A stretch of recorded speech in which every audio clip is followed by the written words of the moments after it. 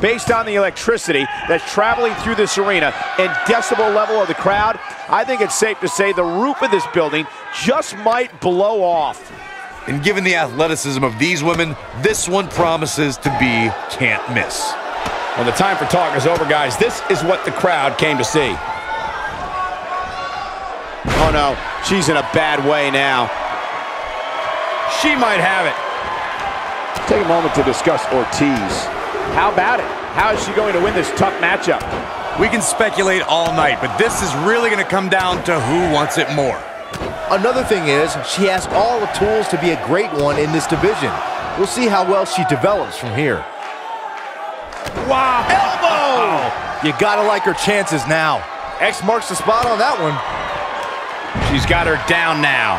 She has got to take advantage. Here we go for the win. There's the pin. It's over. It's all over.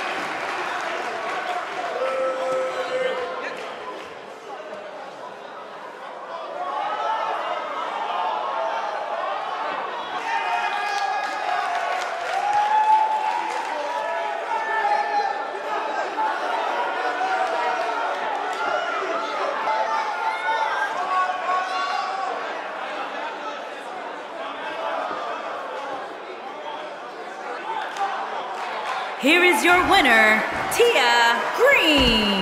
An amazing contest comes to a close following a decisive pinfall victory. I don't make the matches, but if I did, I'd put these two back in the ring ASAP. What an amazing match. As we close the book on this match, I need to remind everybody just how big of a win this was. What's going on here? Here we go. Look at her go. She's calling for it. One more shot and she's done. Oh, man, what a leg drop. That's it. That's what she needed.